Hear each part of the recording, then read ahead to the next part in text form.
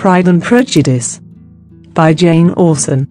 Chapter 1. It is a truth universally acknowledged that a single man in possession of a good fortune must be in want of a wife.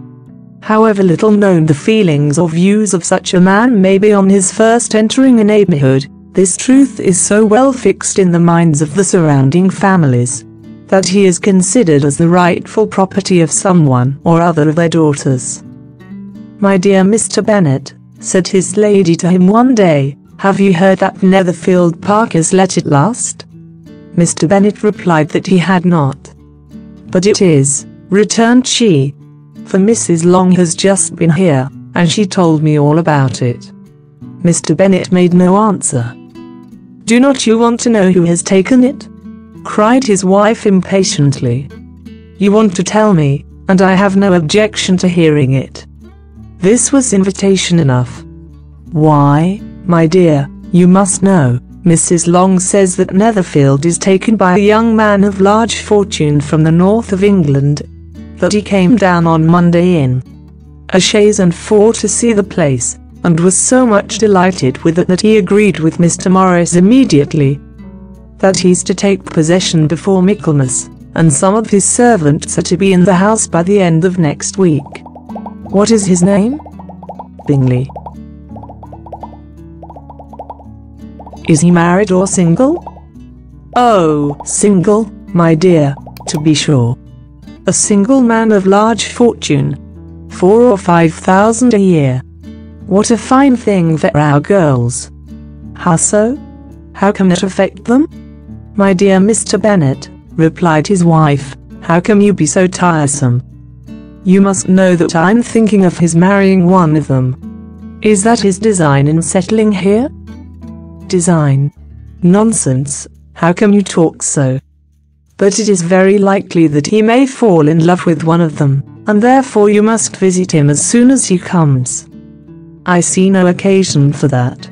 You and the girls may go, or you may send them by themselves, which perhaps will be still better, for as you are as handsome as any of them, Mr. Bingley might like you the best of the party. My dear, you flatter me.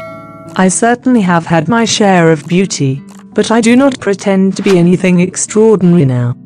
When a woman has five grown-up daughters, she ought to give over thinking of her own beauty. In such cases, a woman has not often much beauty to think of, but, my dear, you must indeed go and see Mr. Bingley when he comes into the neighborhood. It is more than I engage for, I assure you. But consider your daughters. Only think what an establishment it would be for one of them. Sir William and Lady Lucas are determined to go, merely on that account, for in general you know they visit no newcomers. Indeed you must go, for it will be impossible for us to visit him if you do not. You are over scrupulous surely. I dare say Mr. Bingley will be very glad to see you. And I will send a few lines by you to assure him of my hearty consent to his marrying whichever he chooses of the girls, though I must throw in a good word. For my little Lizzie. I desire you will do no such thing. Lizzie is not a bit better than the others, and I am sure she is not half so handsome as Jane, nor half so good-humoured as Lydia. But you are always giving her the preference. They have none of them much to recommend them, replied he.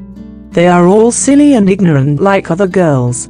But Lizzie has something more of quickness than her sisters.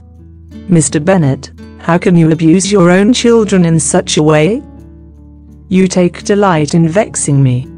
You have no compassion on my poor nerves. You mistake me, my dear. I have a high respect for your nerves.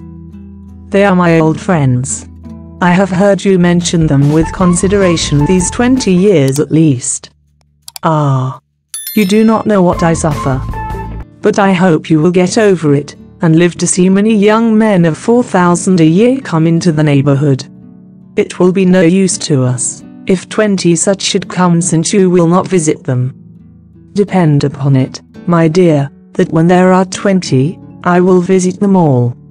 Mr. Bennet was so odd a mixture of quick parts, sarcastic humour, reserve, and caprice, that the experience of three and twenty years had been insufficient to make his wife understand his character. Her mind was less difficult to develop.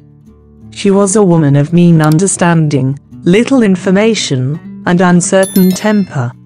When she was discontented she fancied herself nervous. The business of her life was to get her daughters married. Its solace was visiting and news.